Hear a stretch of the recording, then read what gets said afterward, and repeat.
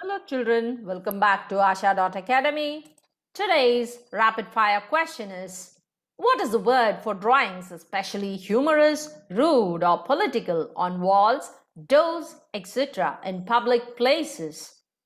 The word starts with the letter G and it has got eight letters altogether. Look at this picture. Can you guess what it could be? The word is graffiti. The word is graffiti. Thank you, children. Thanks for listening to me patiently. Please do like, share, and subscribe. Bye bye.